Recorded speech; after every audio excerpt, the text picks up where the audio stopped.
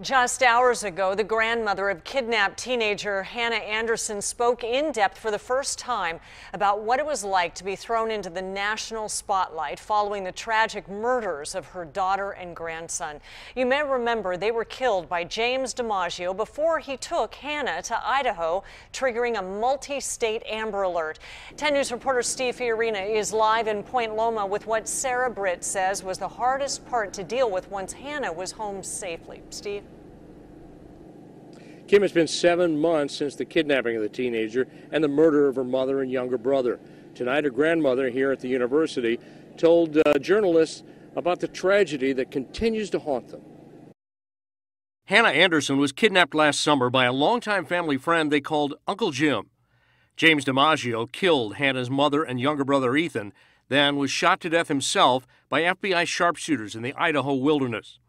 Hannah was rescued but quickly became a victim of backlash, criticized for not showing proper grief. You see people on the news grieving, and you think you know how they feel.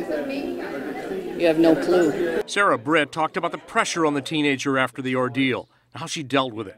Social network, and in some cases it got her in trouble because she wanted to tell her story.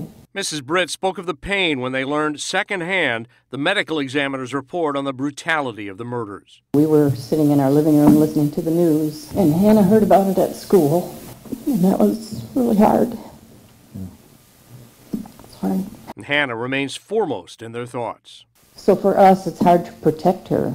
You know, how do you stop the media from jumping on the other side of it? Still, there's appreciation. Like I say, if it wasn't for you, we wouldn't have our granddaughter. And one point remains. She was truly a victim and is a victim. And she said that Hannah is living with her dad and seeing therapists. She's also very proud of her granddaughter, getting a 4.0 grade point average and excelling in uh, dance club and uh, gymnastics. Live at Point Loma College, Steve Fiorina, 10 News.